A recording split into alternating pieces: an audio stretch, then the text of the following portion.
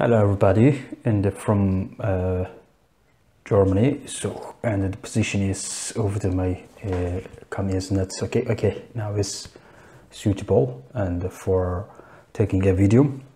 So uh, I live in the in Germany in Dessau Rosslau so today I, I, I, would like to talk about uh, the multiculturalism in Germany uh, a little bit.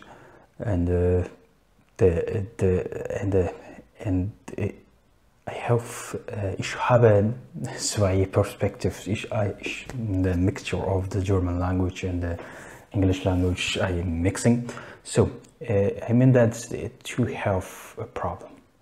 And that I think that's not problem, is that it's the issue and two issues in the multiculturalism and which refers to an social area and uh, and architectural area.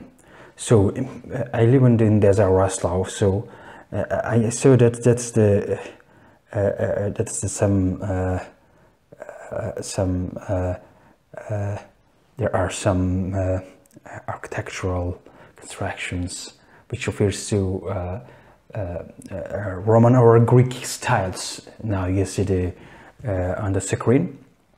So which refers that's that's the German Germany owns Roman or Greek uh, cultural legacy. That the, the, the, architecture is rich in Germany because uh, that is the that refers to multiculturalism in in in architecture. Uh, but but in society, yes, in society there are many different uh, kind of people live in Germany. So which refers to multiculturalism, but but uh, uh, the former president of the Germany said that Germany is unsuccessful about multiculturalism in society. So, but in architecture, there are different things and rich but uh, the political from the political view or uh, from the political perspective and uh, there is the, the, the uh, questionable issues about uh, multiculturalism. And I have to say that that I think this video is coming to the end. I should end this video.